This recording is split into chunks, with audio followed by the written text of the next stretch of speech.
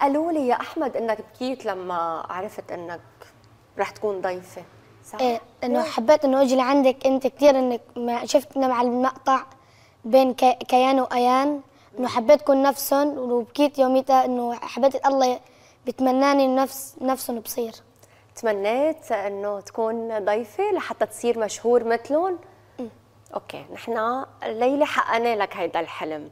خصوصا بزمن الميلاد. حلو دائما نفكر بالأطفال. وين ما كانوا. أنت طفل من سوريا صح؟ مزبوط. من وين من سوريا أحمد؟ من حمص. امم وأنت بتشتغل أحمد؟ إيه. شو بتشتغل؟ آه انه كنت ببيع أنا خبز مرقوق. كنت أفتل على العالم. انه بوزع لهم خبز مرقوق الصبح بقعد الساعة 7 الصبح ببلش بروح ببيع. بحمل شنطة بحط فيها خبز بشتري بس ببيع بنطيه للزلمة اما اجت فترة بطلت إنه ببيع خبز مرقوق صرت بيع ورد ولوتو. صرت إنه ببيع ورد للعالم وبصير بني بس ببيع ورد بقول بتعرف غني؟ وبغني له كانوا بيحبوا صوتي كثير هني. وبلش بغني لهم بصير بغني لهم وببيع لهم. وبطلع على الوادي أيام ببيع لوتو ببيع ورد وبجي ليه بتشتغل يا أحمد أنت؟ مشان اعيش أخواتي. أنت بدك تعيش أخواتك؟ قد إيه عمرك؟ 11 سنة.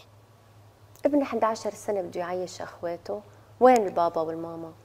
الماما بالبيت وبي متصاب يوم الحرب بسوريا. إيه إنه بس إنه بيشتغل بتدي عليه إنه عمليته. وأنا بشتغل عنه. أنت ما رحت على المدرسة؟ أنا لا. في حدا غيرك بالبيت بيشتغل؟ لا. أنت الوحيد اللي بتشتغل؟ يعني أنت اللي بتجيب المصاري للبيت وبياكلوا وبيشربوا عايشين من وراك أحمد؟ الحمد لله إيه. قد إيه بتطلع بالنهار أحمد؟ كنت طالع أنا عام كثير كانوا إنه بيحبوا صوتي. كنت طالع مثلا 600 700 800 ألف هيك. شو بتعمل فيهم بطيل لأمي أمي بتجيب لنا أكل كلهم للبيت. تعطيهم لأمك؟ كلهم. ما بتخبي شيء لإلك؟ ما بتشتري لعبة لإلك تشتري ثياب؟ لا. ولا هو- مرة؟